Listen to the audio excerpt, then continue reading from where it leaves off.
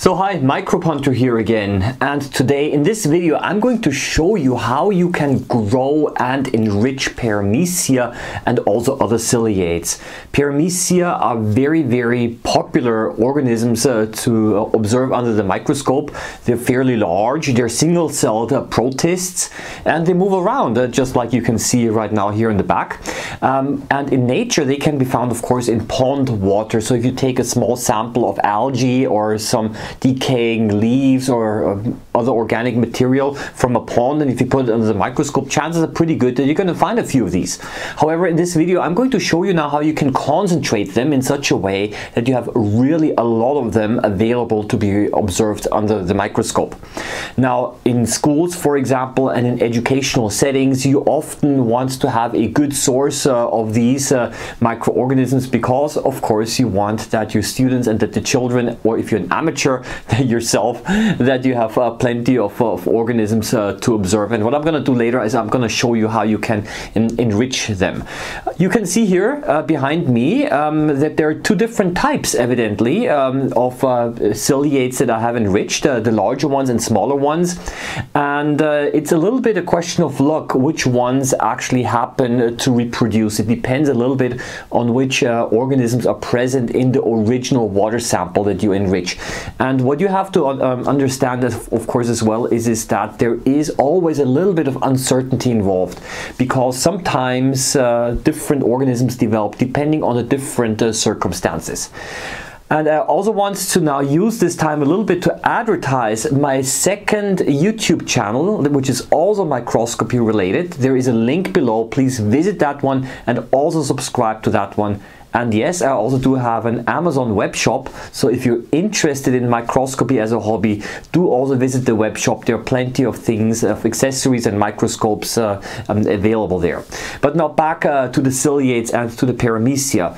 Very often you can see that uh, they actually gather around solid material, usually decaying material, because what they do is, is using the cilia, these are little hair, um, what they do is, is they take up parts of the food of these of this material and they put it up uh, to soak it up and suck it up into the cell and then inside in the cell um, eh, they digest it. So because they are single-celled organisms of course they do not have a digestive system in the classical sense and they don't even have a nervous system as a matter of fact.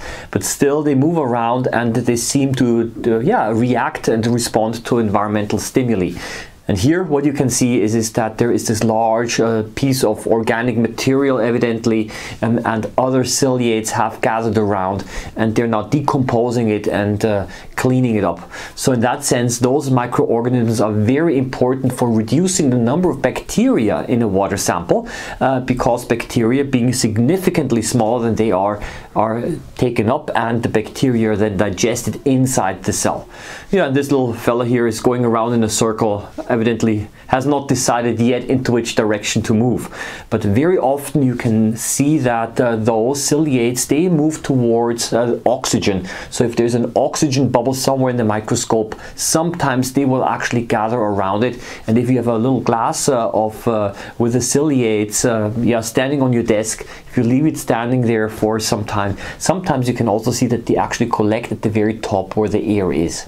But now I'm going to show you how I enriched them. And there's one thing that you need beside the pond water sample and that is a wheat grain and what you do is, is you take this wheat grain and you crush it uh, between two spoons there's lots of starch uh, inside the wheat grain and this starch serves as a food for bacteria that start uh, to grow.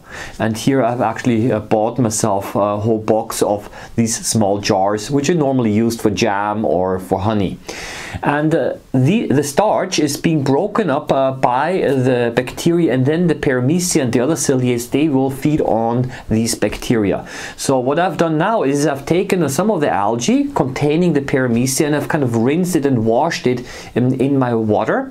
Um, and this kind of washed out the the, the microorganisms and then I simply dropped in the crushed wheat grain and I left it in there for about two to three days. At the beginning you're not going to see a lot happening uh, but after a few days it's going to turn very soft and slimy um, and then there are probably going to be plenty of uh, mi microorganisms visible. And now this is a second way, a milk culture. You take a second little jar and, and, you add a small amount of milk, just enough to make the liquid cloudy.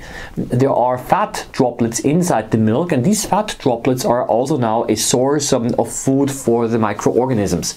And what you will be able to see is, is that while it's cloudy at the beginning, after a few days, um, it's going to clear up again. And then you can see uh, that uh, essentially the milk has been taken up um, and eaten up uh, by uh, the paramecia and the other microorganisms and this is a source of food. So you can now compare both of them. After a few days you can see that the left one that was the milk culture now all clear and the right one that one was the one with the wheat grain still very cloudy and I think I was overfeeding it a little bit. So it's probably a good idea to after a few days to remove the wheat grain again. So I'm now making a, a slide a specimen slide. I dipped the soft wheat grain now on the slide. This kind of also transferred the paramecia now on the slide. And this is what you see um, at least in my case, I saw these two different types of microorganisms uh, running around, floating around um, in the water sample. Make sure that uh, you use sufficient water because if you if uh, you do not have enough water, then the chances are pretty good that you're actually going to end up uh, compressing um, the paramecia and the ciliates. Um, this is not time lapse, by the way, um, and uh, this can actually squash them to death. Um, and yeah, you want to observe them move around freely. So make sure that the cover glass uh, does does have a slight distance uh, to the slide. If you zoom in a lot, you can of course then also see, also see the different uh, cell organelles inside the paramecia.